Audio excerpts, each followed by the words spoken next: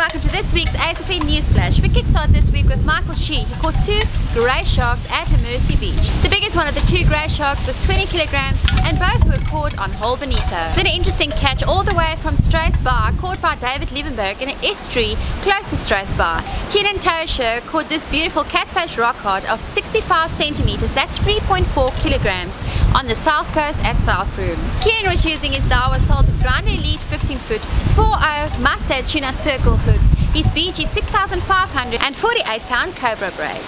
Asius Sierpizza caught this 178 centimeter female ragged shark.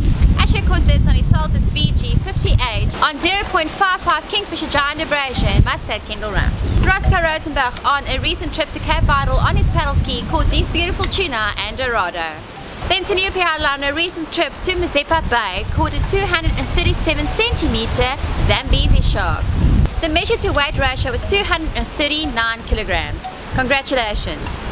Well that brings us to the end of this week's show and remember that you can send your catches to Grande Elite at asfn.co.za. That is Grande Elite at asfn.co.za. We'll see you next time. Goodbye.